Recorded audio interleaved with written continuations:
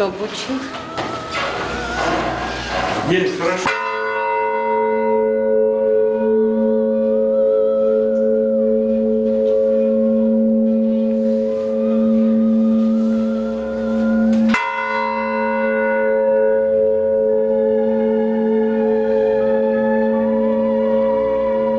Этот колокольный звон раздавался над селом Маково, являющегося родиной архимандрита Кирилла, в день годовщины его представления ко Господу, 20 февраля 2018 года. Тамара, помощница протерея Валерия, настоятеля храма Рождества Богородицы, в котором крестили будущего старца, вместе со своим супругом приезжают в Маково из поселка Октябрьского. В нем они находят отраду и утешение. Как же без Бога? Без Бога, без Бога не, не до порога. Вот э, даже, как говорится, каждое дых- дыхание дославит Господа. Вот даже нам э, на каждый день дыхание Бог дает, как же мы не помогает нам. Вот так и помогает. А как же вы? Вы всегда так верили, кричу, Бога? Или Да, с детства. С детства? Да. вы счастливый У меня бабушка очень верующая была, да, покойная. Вот поэтому так с детства и в, в это, как к Богу, вот, чтобы страх Божий был в душе, чтобы никогда никого не обижали, чтобы никогда не на, э, если старенькие там люди всегда с уважением относились, всегда помогали. Да, Богом Вот это это- легко и в тот же момент тяжело. Вы это ощутили на себе? Да, ну, ну тяжело. Нет, всегда Бог помогает во всех трудностях. Поэтому все равно преодоляется все. Все Бог не посылает, не по силам, а все с Божьей помощью все преодоляется. Ну, это просворно. Это про спорня, да? Да. Ну, это, как говорится, более святая святых, так говорите. Это вы печете А что просфоры? сюда боится заходить? Ну, батюшка благословил. Я пеку. Я впервые вижу, что мужчина пек. Вот Во скольких храмах я была, и везде женщины этим занимаются. Ну, а раньше-то вообще в монастырях кто пек? Только мужчины. Поэтому у вас, наверное, него особый очень хорошо получается тесто месить. Знакомству с этими скромными, боголюбивыми людьми предшествовали следующие события. Вечером 19-го, накануне 20 февраля, вдруг что-то во мне заговорило. Перед мысленными очами возник образ почившего в 2017 году архимандрита Кирилла Павлова. Вспоминаю, что во второй половине февраля прошлого года батюшка почил. Заглядываю в интернет и, о чудо, этот день 20 февраля.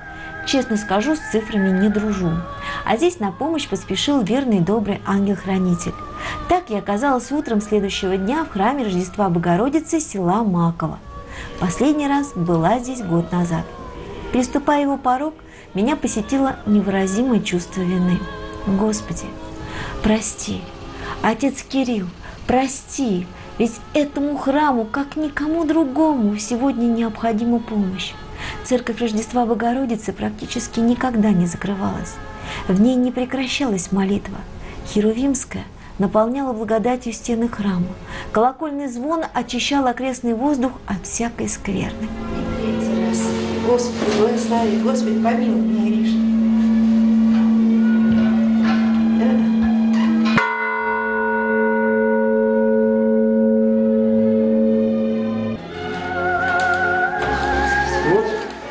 Перед службой звонит, Тамара, звонарь у нас открывает окошки, чтобы округа слышала.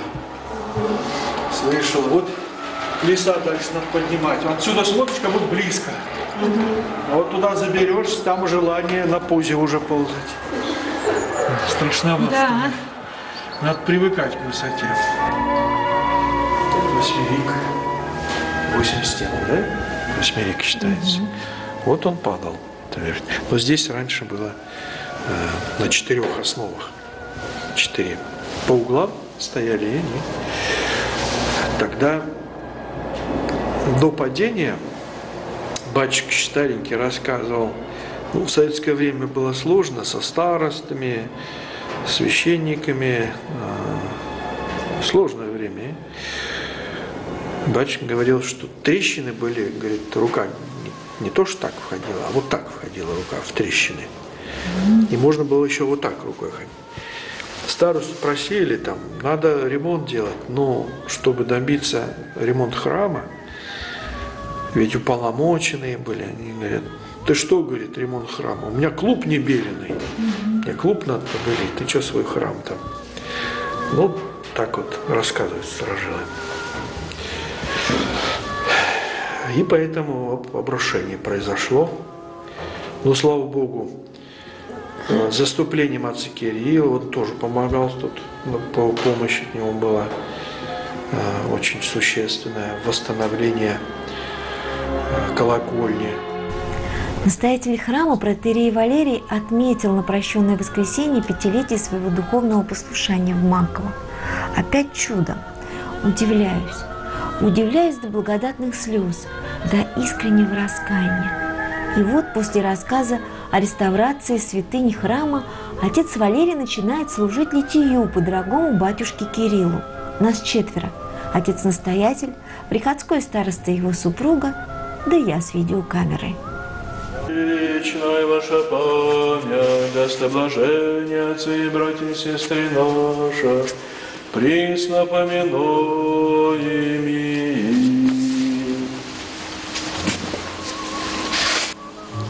Мы живем для того, чтобы учиться жить.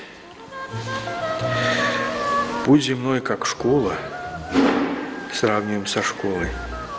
Эта школа временно мы все знаем, что уйдем отсюда.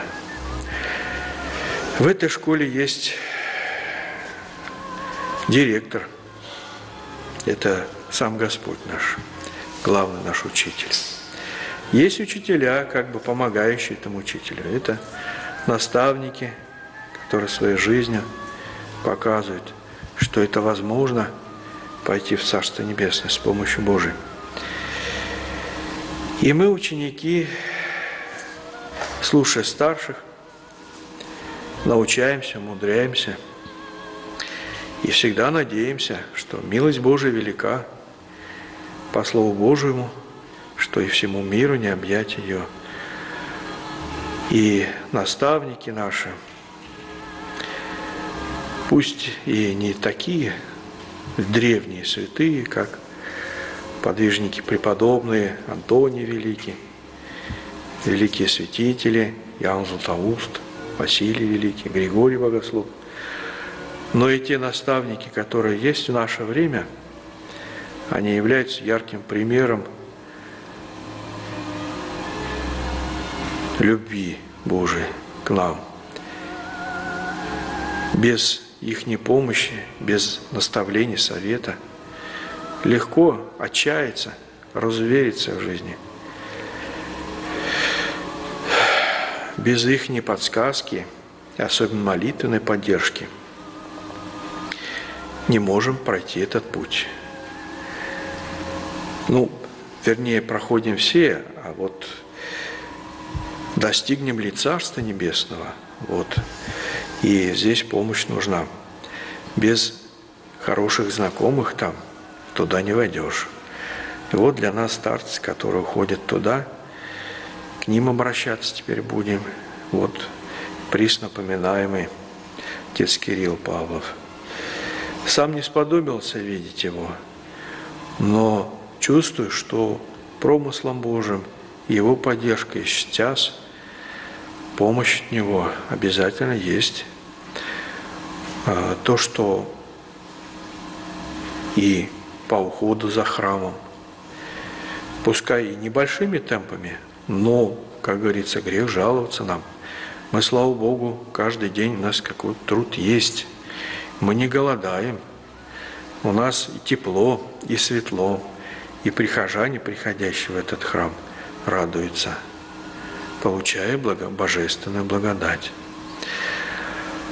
Будем надеяться и дальше на милость Божию и на помощь подвижников – который теперь там, отец Кирилл теперь там, за нас будет молиться.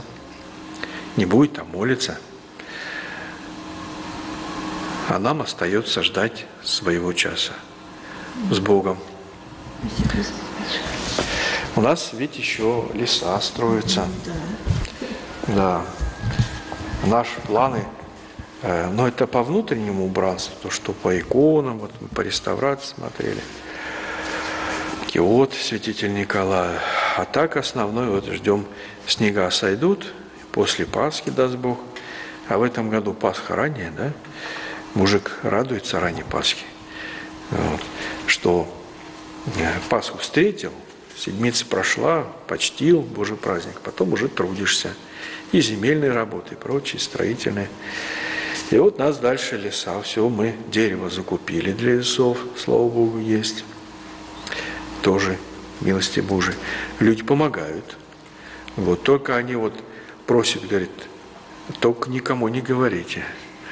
Ну, ибо само Евангелие нам Господь говорит, что когда дела делаешь милосердие, что правая рука не знала, что делать левая. Надеемся на то, что Господь пошлет, несмотря на то, что села пустеют и продолжают пустеть. Кто-то приезжает там лично, э, единицы какие-то люди возвращаются из города.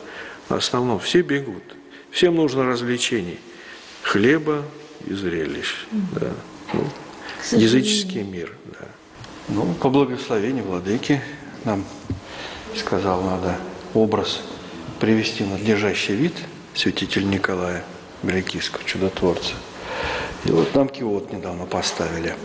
И так, думаю, всю композицию иконостас потом менять, который алтарь у нас еще не освящен, и после обрушения колокольни в 1989 году а, будем тоже в таком же стиле продолжать, как вот киот новый сделали, иконостас менять и потом уже освещать сам алтарь Никульский.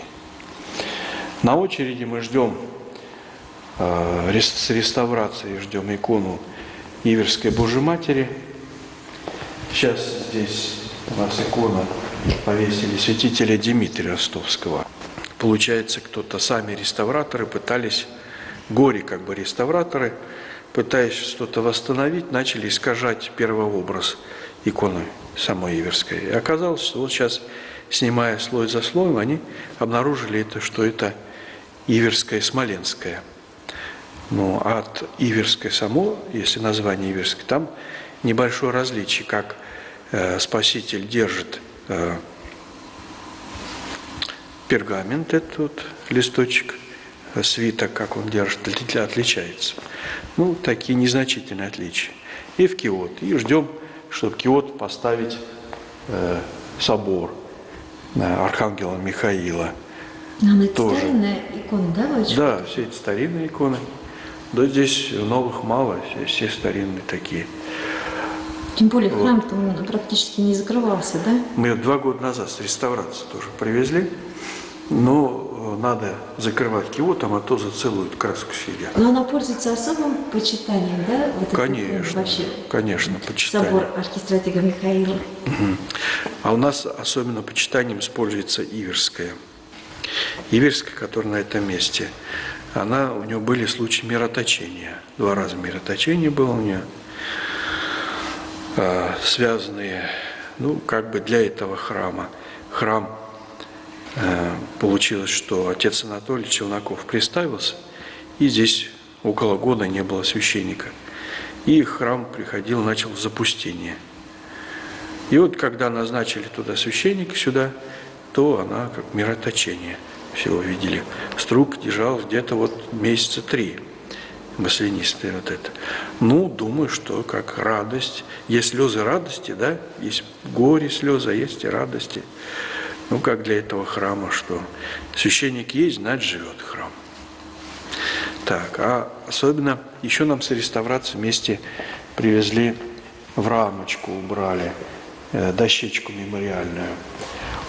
Память о том, кто строил э, этот храм каменный. С Маковским храмом на Михайловской земле связана еще одна история. Когда-то в нем существовал предел в честь святителя Филиппа Московского, о чем сохранилось свидетельство в виде памятной доски с выгравированной надписью, сообщающей о меценате храма родственники святителя Колчеве Петре Андреевиче. Интересные сведения год назад мне предоставил мой друг Александр Благосклонный, с которым познакомились на презентации книги митрополита Рязанского и Михайловского Марка в Рязани. Он-то и рассказал мне о редком на Руси пределе, расположившемся на Михайловской земле в храме Рождества Богородицы села Маково.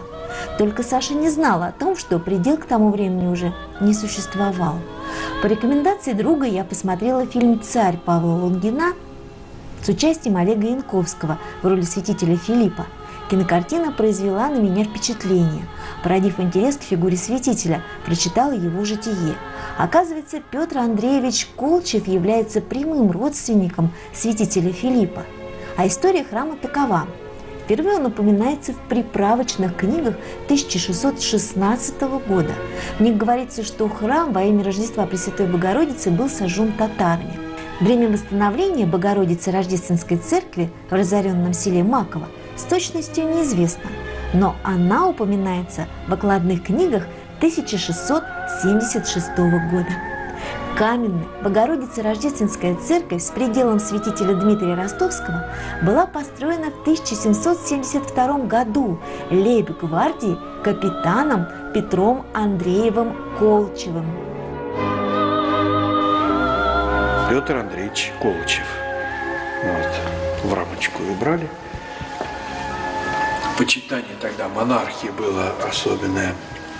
А, вот мы видим здесь э, написание, просто как бы вот эти письмена, они как иголочки заштрихованы. А вот э, третья страни, строка государыни императрицы Елизаветы Петровны при ней была.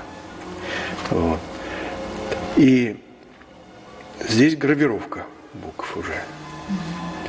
Ну, гравировка это уже тонкая работа, Да. так сказать. Получается, это его родственник, один из родственников. Да, да, да. Получается, так что не случайно здесь было. А вот нет мысли, я уж вас в прош- в прошлый раз спросила об этом, тоже нет мыслей восстановить этот предел. Все-таки здесь исторически он был, существовал исторически. Вот какие-то мысли есть на этот счет? Дочка у нас? Не справляемся, не справляемся, рук не хватает. А так еще очень почитаемая у нас э, икона «Неувидаемый цвет». Написано на полотне, но немножко самостильно так сделано, ну, как бы не повторяется. От оригинала отличается. А чем она знаменательна у нас? Э, Это уже так более мирового так масштаба право- православия. Э, Она была полностью вся черная 5-6 лет назад. Ничего не было видно. Полосно, полотно все полностью черное. Я сейчас э, включу паникодил, освещение будет лучше, хорошо?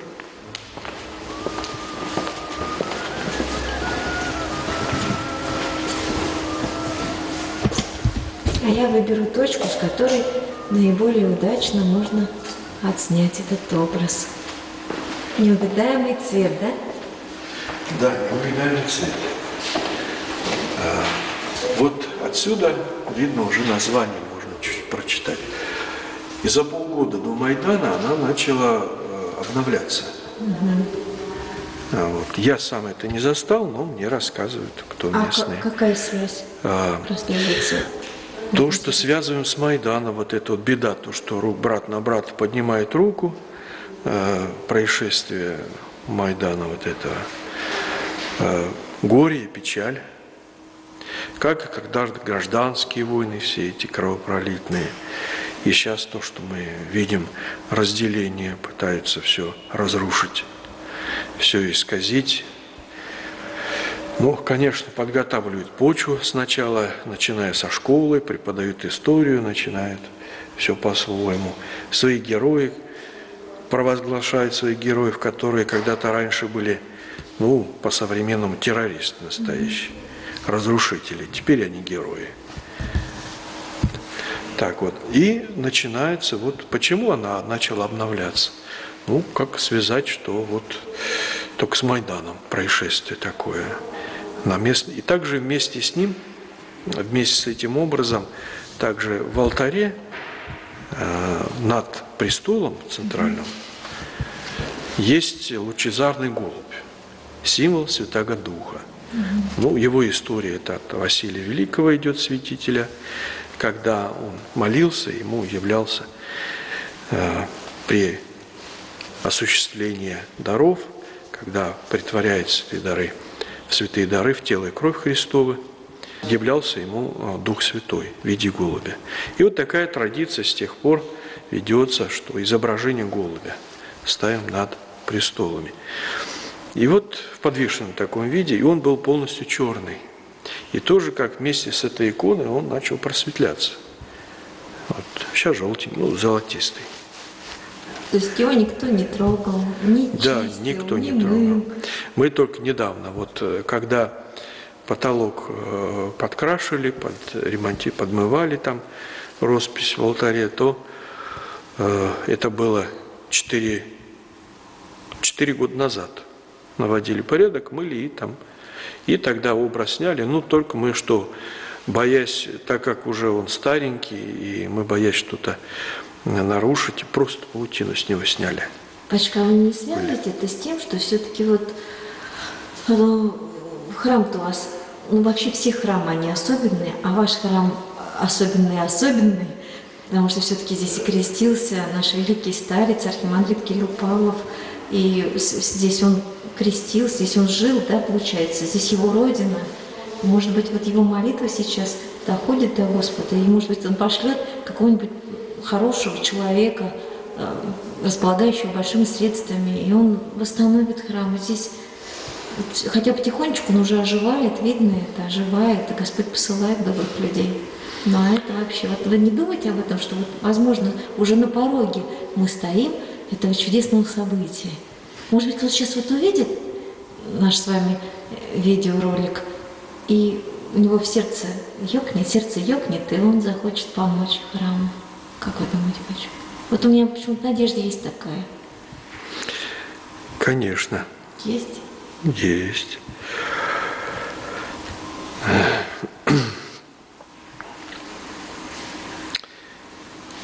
Надежда всегда есть. Тем более к такому храму. Он не закрывался. Конечно, печально видеть то, что происходит. Все меняется очень быстро. Время такое еще лукавое. Много информации, путаются в ней. Используют, кто-то использует там против что-то. И особенно время такое, что нужно в, себе, в себя смотреть.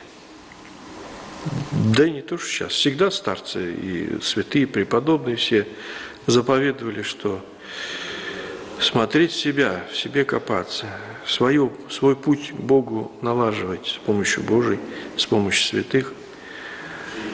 А, Мы часто, бывает, даже копаясь в истории или, или рассматривая поступки людей, ближних своих, часто не замечаем, что мы как наркотики этим пользуемся, обсасывая какие-то моменты жестокие или, или специально придаваем окраску более жестокости, мы хотим себе нервы пощекотать, так сказать, адреналин выделить.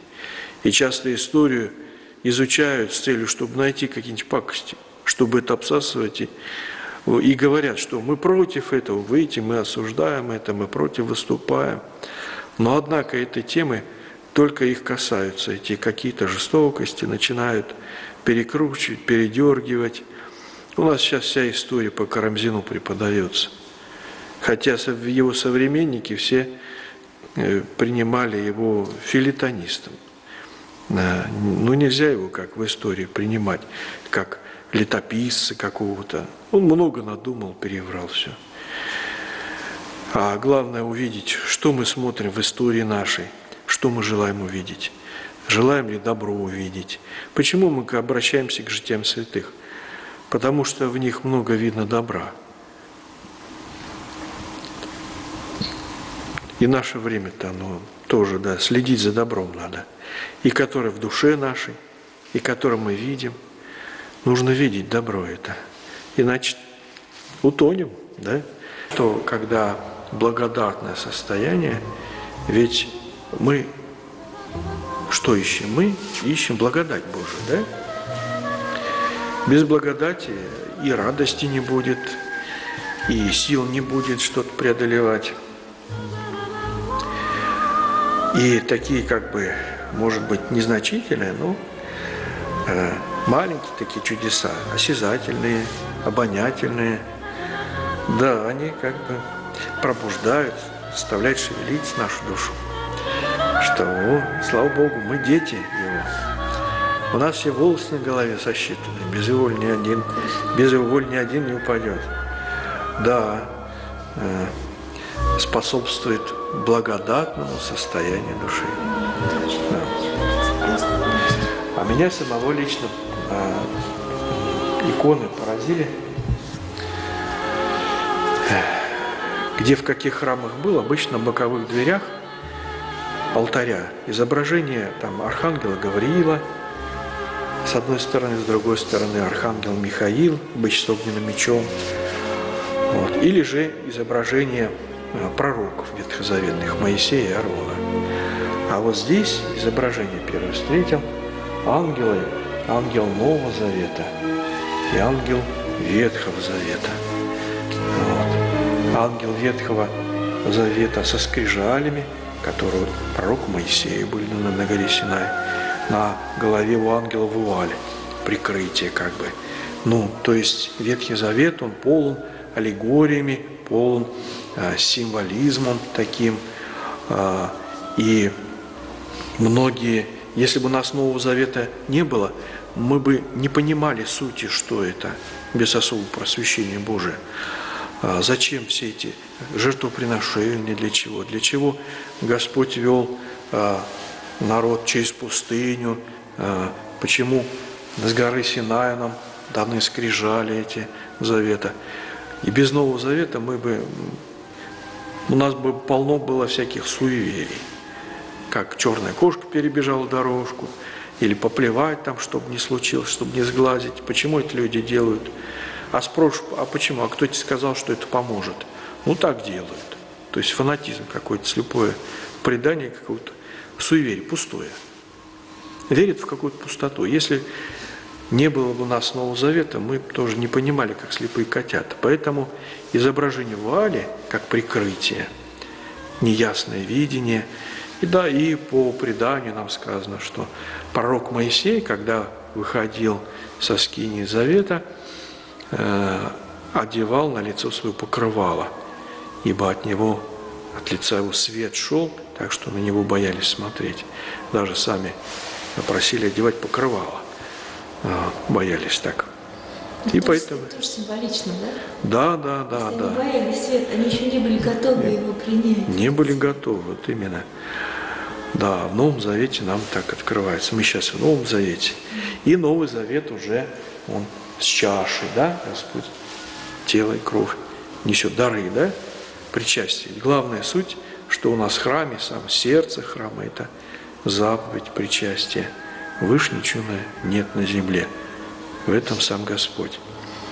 Вот меня поразили в моем они тоже были все очень э, попорчены, эти образа старенькие. Вот видно, как над, э, вра, над боковой дверью изображение там только надо присматриваться, чтобы что-то понять, увидеть.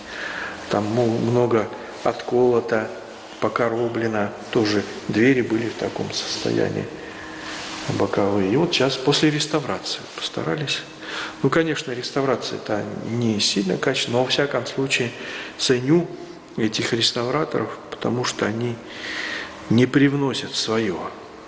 Вот по кончине отца Кирилла, по его э, просьбе отдали сюда в храм.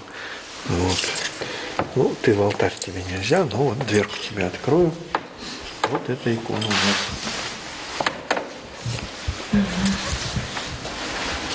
Новенькая, да? Свет включу сейчас. То есть получается, что отец... Эта икона была в его келье. А, в его келье была? Да, А на Сафона, да? Сафона. Когда он на Андре болезненном лежал, она была в его келье. На колесиках. Собираются до 6 там, метров с половиной. Будем мыть. Вот Пост великий начнется. Паникодил оттирать начнем. Ну, еще там помоем.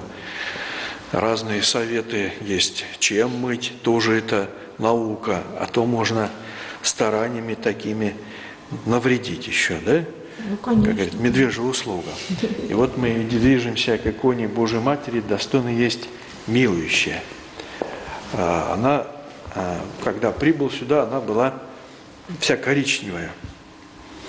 Э, Какие-то элементы отколоты были, э, и фон был коричневый, а закрашен был чисто половой краской. Вот как вот коричневый пол красит, это половой краской. И было название, написали сами э, Малороссия. Вот. Тоже. И она уже вся с коробками была краска много. И отдали на реставрацию. И вот привезли, снимали эту краску половую, и оказалось, что это не Малороссия, а достойно есть милующий. Почивший в 2013 году протерей Анатолий Челноков, настоятель храма в честь Рождества Пресвятой Богородицы села Маково, был духовным чадом отца Кирилла. Часто ездил к нему с женой и детьми в Переделкино. Духовный отец утешал своих чад, вселял в них веру, заряжал надеждой, дарил неиссякаемую любовь. Ну, конечно, отец Анатолий тогда Челноков э, настоятелем тогда поставили его, и он уже при его деятельности восстанавливали. И теперь, милости Божией, он у алтаря похоронен там. Ну что ж, Вот, наследие наше. да. да, вот это слово обрушение, оно очень символичное. Обрушение произошло. Обрушение произошло вообще, села произошло, не только колокольни. Да, да. Потому что село на самом деле завяло. Ну, это в основном больше. Маков цвет-то. Потерялся маков цвет. Да. Обрушение, когда служба прошла, все люди вышли, и обрушение произошло. Вот. Господь еще помиловал. Никто, да, не Слава Помиловал Богу, да. Господь. Сложные времена, да, были. У нас сейчас, слава Богу, нас особо не кусают. Мы сами даже кусаемся. Да? Вот. Ну, надо следовать Евангелию. Дочка, а вы любите вот это свое новое место своего послушания? Вы здесь уже м, теперь уже много лет, наверное, сколько лет? Пять-то есть уже? Надеюсь и смерть свою встретить здесь. Посчитаю это за милость Божию. Но мы, нам должны, как сказать, скажут, пойдем. Указ дадут, надо, значит, выполнять. А. А так, да, хорошо было бы. Но мы как люди, че- человек предполагает. Сегодня отца Анатолия нет среди нас, но за свой молитвенный подвиг он сподобился быть похороненным возле храма у самого алтаря. Вот. Но он все-таки был каким-то вот такой вот, он дал толчок. Вот. Ну, мы только приходили по большим же праздникам.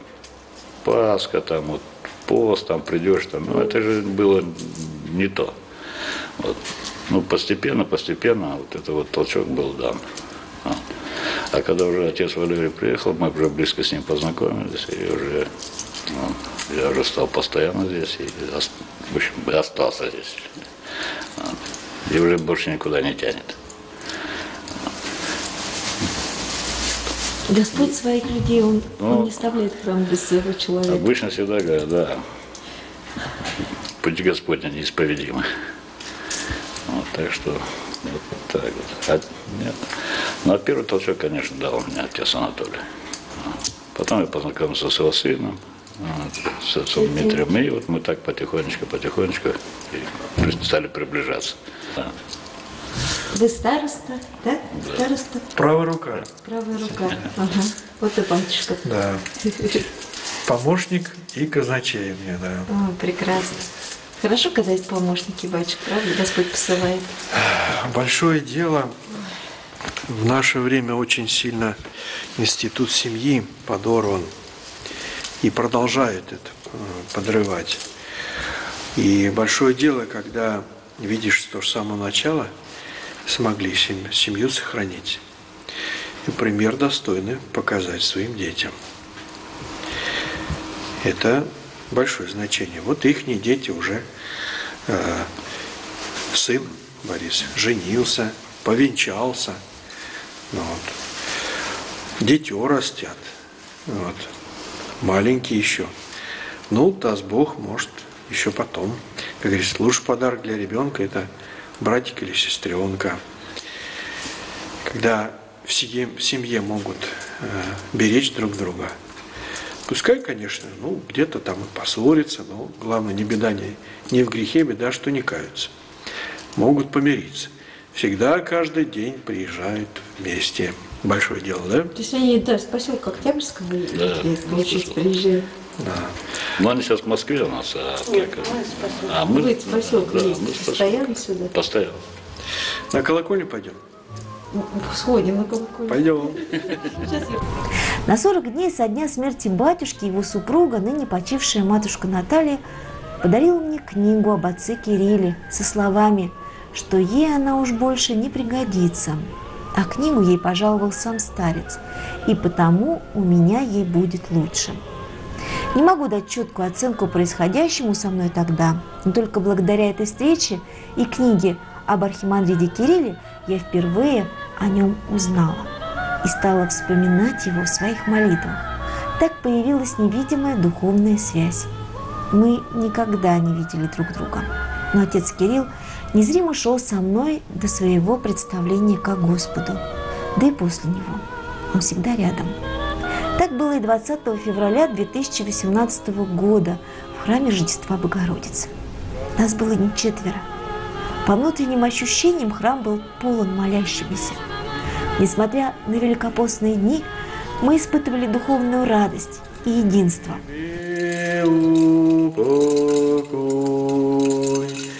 Христе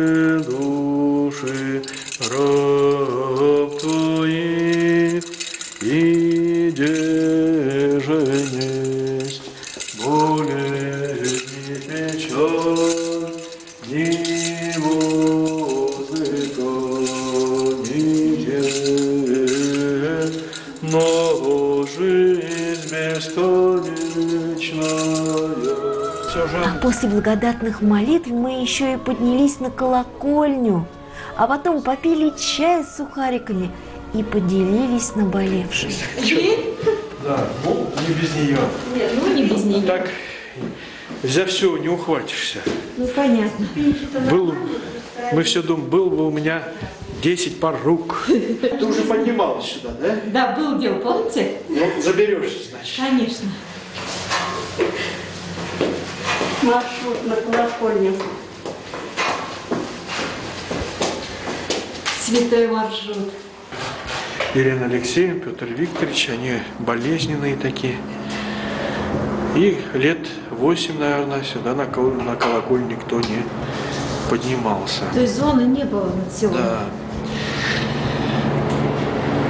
Э, Когда сюда зашел, дверь открыл, такой слой помета голубиного, скелетики, эти пух, перья голубиные, и птенцы сидят такие живые. Вот царственных голубей было тут. Два самосвала отсюда вытащили все это вот полезного элемента такого. И здесь же и нашли дощечку мемориальную, которая сказана о Колычеве. Здесь нашли Да, ее. вот. То есть на колокольне выходит. На колокольне нашли. Вот. Тут уже, ну это по месту уже, помост собрали. Ну, тут, тут. На балке основной, старая балка, на ней висели все колокола, какие были. А какие были, а, это вот самый большой 40 килограмм был. Э, Где-то в Германии вылитый, канатная фабрика какая-то.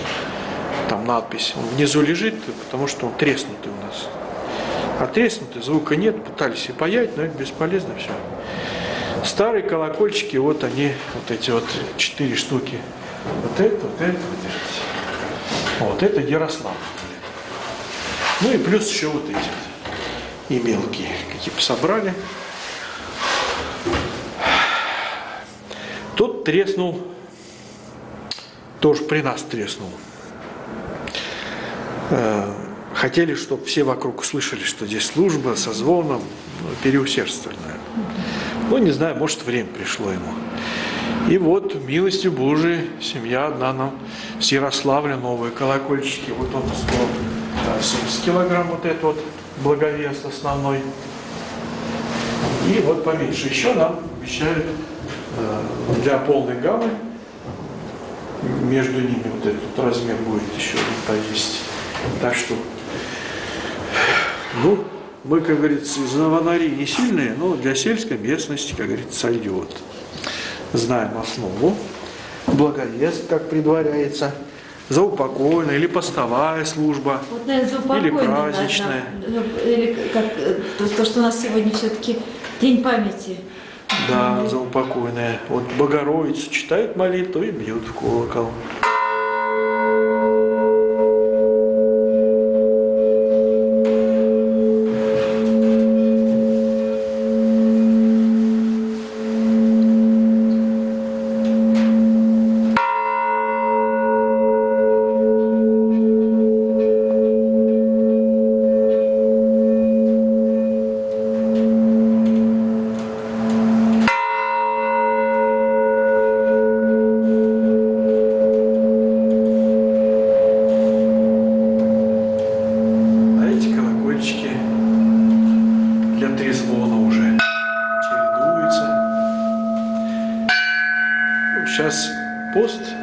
Поста, Мы не будем. да, трезвонить не будем. Также, конечно, и предписано нам, если какие-то бедствия случаются, пожар, надо звонить. Тоже. Ну, в древности тоже звонили всегда. Моровая ба, язва ли шла, или мор какой-то, масштабные какие-то бедствия. Колокольный звон. Ну и для всех уже не секрет, и научные есть доказательства тому, что колокольный звон и воздух очищает. И вот такие бедствия отстраняет нас, защищает. Вот звон есть. Попробуешь? Не, ну сейчас уже пост. Ну, в благовест. Можно? Да, давай. На педальку попробуй нажми, да? Господи, благослови, здесь благослови. Прости меня, Господи.